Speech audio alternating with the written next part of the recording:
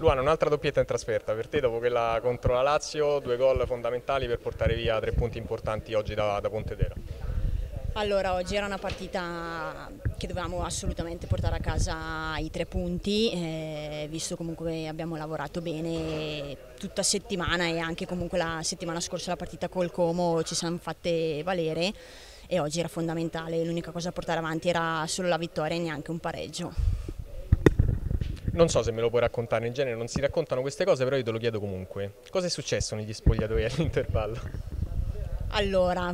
parte dal presupposto, io ero molto tesa, ero molto nervosa, quindi vabbè, mister mi ha tranquillizzato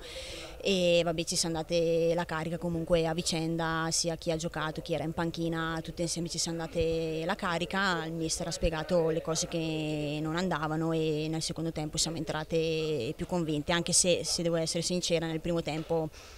l'abbiamo avuta a portata di mano, solo che 7-8 occasioni la palla non entrava.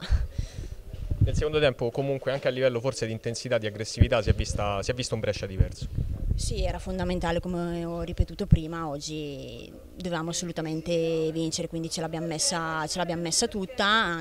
eravamo sul 3-1, abbiamo beccato il 3-2, non abbiamo mollato fino all'ultimo secondo e ce la siamo portata a casa, meritatamente